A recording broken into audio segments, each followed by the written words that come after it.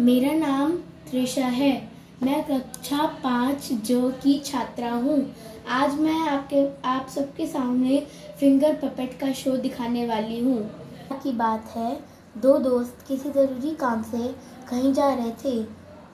उन उन दोनों को एक गहरा जंगल पार करना था। दोनों ही जंगली जानवर से डरते थे। उन्होंने एक दूसरे से वादा किया था कि वह, जब अगर कोई जंगली जानवर उनके सामने आएगा तो वह एक दूसरे की मदद करेंगे। तब उन्हें एक बालू, भालू दिखा। पहले दोस्त ने कहा कि हम पेड़ पे चढ़ जाते हैं। दूसरे दोस्त ने कहा कि मुझे तो पेड़ पे चढ़ना ही नहीं आता। भालू आगे आ रहा था। तो पहला दोस्त पेड़ पर चढ़ गया। दूसरे दोस्त को कुछ समझ नहीं आ रहा था कि वह क्या करे। फिर वह फिर वह लड़का आँख बंद करके लेट गया। तो वह उस भालू ने उस उसको सूंघा क्योंकि भालू मरे हुए जानवर या फिर इंसानों को नहीं खाते हैं। तो उसने देखा कि यह मृत शरीर है तो वह अपने रास्ते चल पड़ा।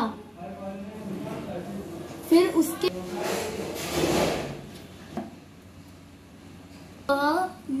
दोस्त खड़ा हो गया।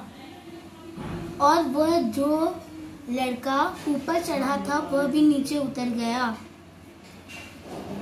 उसके बाद उस लड़के ने अपने दोस्त से पूछा कि, उस उस भालू ने तुम्हारे कान में क्या फुसफुसाया तो दूसरे दोस्त ने कहा कि, उस भालू ने कहा, जो दोस्त ज़रूरत पड़ने पे साथ नहीं देते हैं, वह सच्चे दोस्त नहीं होते हैं।